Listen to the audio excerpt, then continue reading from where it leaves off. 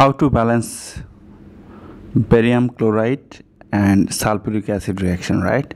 Barium chloride sulfuric acid barium sulfate HCl okay to balance this reaction at first we have to draw a table like this. In the left hand side we have barium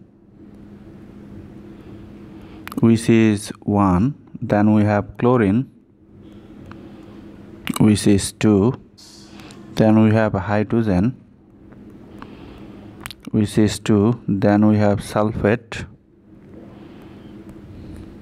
which is 1 right? Then in the right hand side we have barium which is 1 then we have sulfate which is 1 then we have hydrogen which is 1 then we have chlorine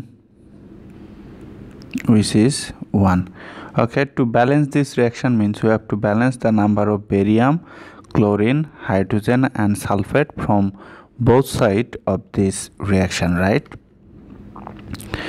So look barium 1 1 then chlorine here 2 but here 1 so to balance the chlorine what can you do? I can multiply here by 2 that gives me 2 the rule is that if you multiply by something that something must come before the chlorine right? So these two must come before this chlorine that is here.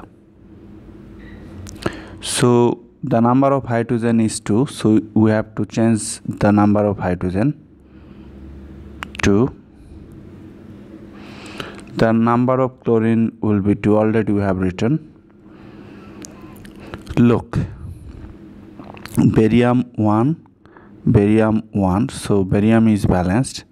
Then chlorine 2 chlorine 2 hydrogen 2 hydrogen 2 sulfate 1 sulfate 1 everything is balanced. So you can say that this is the balanced chemical reaction so thank you for viewing this video. Be well